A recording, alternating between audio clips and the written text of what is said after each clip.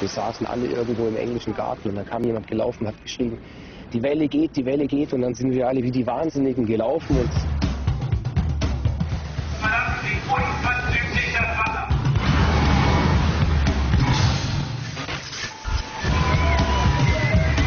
mit meinen beiden Töchtern zusammen auf einer Welle reiten, das ist einfach Riesenglück. the capital of river surfing, Munich, Germany.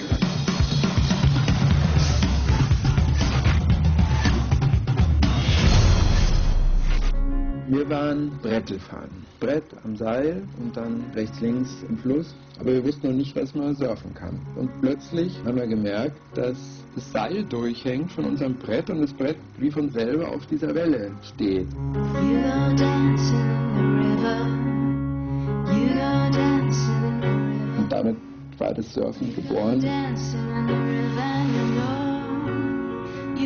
Wenn man den Weg gewählt hat, im Ausland zu leben, lässt man natürlich seine guten alten Freunde. Macht natürlich dann neue Freunde, aber das ist immer nicht dasselbe. Immer, wenn ich äh, mal wieder ein paar Tage in München bin, da lache ich wie, wie sonst nie.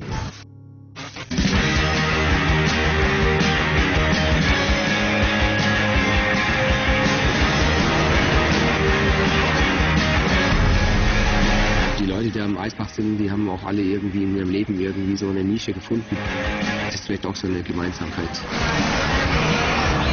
Viele Leute schließen einfach mit oft schon 20 mit dem Spaß ihrer Jugend ab.